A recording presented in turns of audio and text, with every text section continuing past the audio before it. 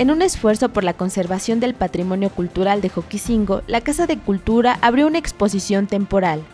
Ofrendas prehispánicas de Joquisingo muestra hallazgos de los ciudadanos, que datan del periodo posclásico, mismo que abarca del año 900 a 1500 después de Cristo.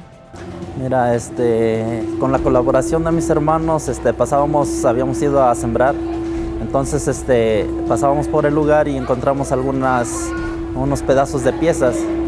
Entonces eso nos dio curiosidad y empezamos a, este, escarbar y a buscar y encontramos eh, las piezas, pero sabíamos que, o sea, son piezas este, delicadas y que tenían que tener mucho cuidado.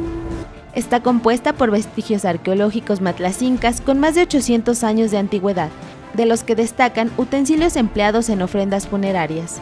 Todos estos objetos son eh, eh, encontrados en un contexto funerario pero eh, eh, se sabe que también tenían otro tipo de, función antes de ser depositados con el difunto. Descubrimientos que tuvieron lugar en el plan y en el cerrito. Es, es un lugar que se podría decir que es eh, un poco frío, hay, hay árboles y está, está en lo alto del cerro y pues las piezas se conservaron bastante bien, la mayoría están, muy, están bastante bien. La exposición es posible gracias a la colaboración de la Facultad de Arqueología del Centro Universitario de Tenancingo en coordinación con el Ayuntamiento Municipal.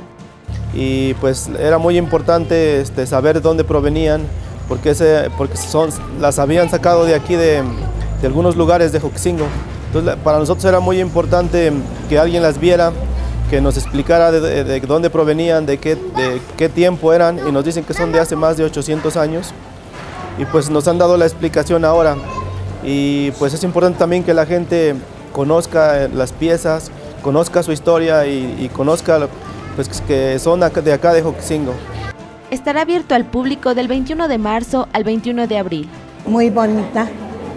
Aprendemos mucho al presentarnos cada cuadro de lo que presentan, para conocer sí, los materiales que se ocupaban antes todos los, objetos que hay eh, prehispánicos y la verdad pues son muy interesantes porque muchas veces eh, ignoramos eh, desde dónde vienen y la verdad pues es muy importante pues informarnos de, pues, de las culturas prehispánicas. La administración municipal te hace una atenta invitación que nos visiten para que conozcan las piezas y también les pedimos de favor que si tienen piezas en sus casas, que las donen al museo. Todas las piezas que donen van a llevar el nombre de la persona que las donó y se van a quedar ahí para, para el Museo de Joxingo.